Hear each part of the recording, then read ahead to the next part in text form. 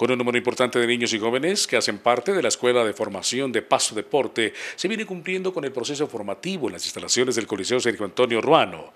La idea de los menores es llegar en un buen ritmo de competencia en la disputa de la instancia final de los Juegos Deportivos Intercolegiados Supérate. De igual manera, la idea es estar presente en los eventos regionales como el pony baloncesto a nivel nacional y los certámenes deportivos que se desarrollen en el segundo semestre de este calendario. Los menores de Pasto en diferentes horarios reciben el proceso formativo en las instalaciones de la sede del Instituto Municipal Pasto Deporte.